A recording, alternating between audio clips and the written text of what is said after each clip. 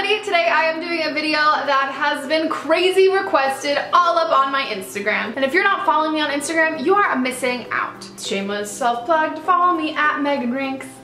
I will be the first one to say, I put a lot of time and effort into my Instagram photos and it's not even something that's like, oh my god, no. It's like, they just like it. No, I spent a lot of time editing my Instagrams. If you haven't seen my Instagram, then I'm gonna have a picture of what like the uh, aesthetic of it, what it currently looks like to this day right now. I love really bright, very white pictures and for the last like months on months on months, my Instagram theme has been very primarily white photos. And half of you seem to love it, half of you seem to hate it, but more than that, everyone just wants to know how I do it. So I thought you guys how I edit my Instagrams. Shall we dive into the phone? Let's dive in to the iPhone 6. I want the 6 Plus so bad. I might change it. I might, I might, I might. Okay guys, welcome to my iPhone. If you wanna see all of the apps in another video, I've got those linked down below. Now first and foremost, I take a lot of my Instagrams with this app. It's the Camera Plus app. I just find it really helps like automatically when you take a photo with the exposure and things like that. So it's literally just like taking a regular photo, but you can adjust the exposure while you're you're taking it. So it just kind of makes it more like you're using a nicer camera and I feel like the quality is a little better in a Camera Plus. Then I go into the photography folder and this is where all of my photo apps are. Now I basically use, I use these three primarily. I only really use VSCO Cam for photos on my Twitter. It's just like a really easy way to edit them. If you're, it's not really like my theme of my Instagram, but like you can see it does like the very, like you can do like really cool faded ones and it's just a different kind of aesthetic than my Instagram is, but I'll do it for some ones. But you know, know, others not so much. But if you love that kind of like faded look in here, this is like, that's like really great to get photos that are like look like that. So for Instagram, I use Aviary and Facetune mostly. And so I start by going into Aviary. Now in here, you can just grab like any random sort of photo. Uh, these are just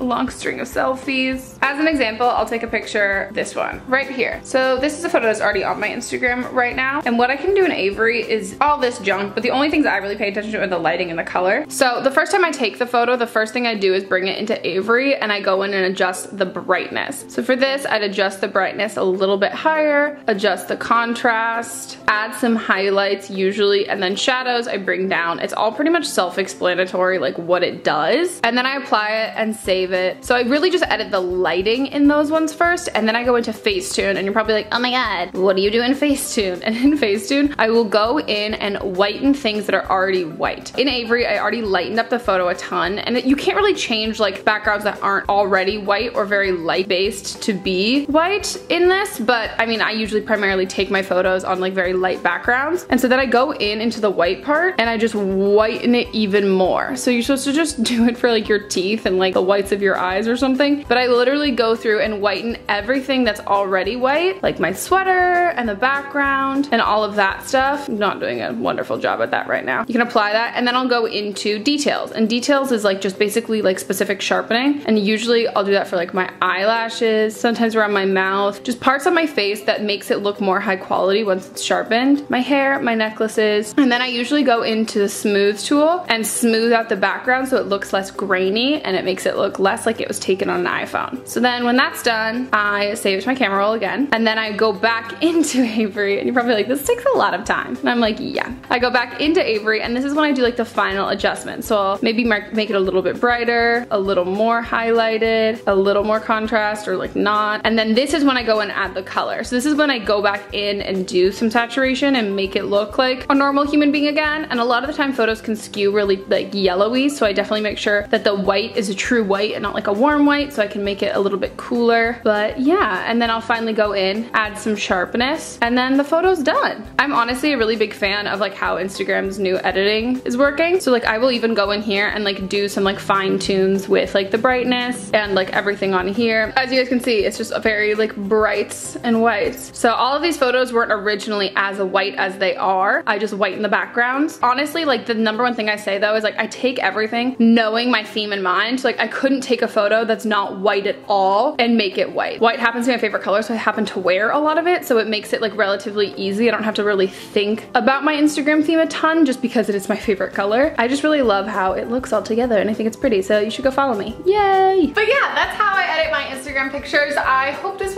for you guys, it is a time consuming process. And I really like it. I know a lot of people probably see this and be like, oh my god, I can't believe you spend that much time editing your Instagram photos. I really like it. I have really bad anxiety, so it's actually something very nice for me to be able to look at something that like gives me peace. It makes me feel really calm, which my Instagram does for me. And if you enjoyed this video, make sure to give it a thumbs up and uh, let me know what your Instagram name is in the comments down below because I love following you guys on Instagram. And if you have like pretty Instagrams, like I'm all about it. Like I will like like all of your photos. I'm a really good Instagram follower. I am. Don't forget to follow me on the rest of my social media sites. I'm on Twitter, I'm on Tumblr, I'm on Facebook, I'm on, I have a second YouTube channel if you didn't know. Uh, and more importantly, I'm also on Snapchat. I hope you guys enjoyed this quick little video and I will see you next time.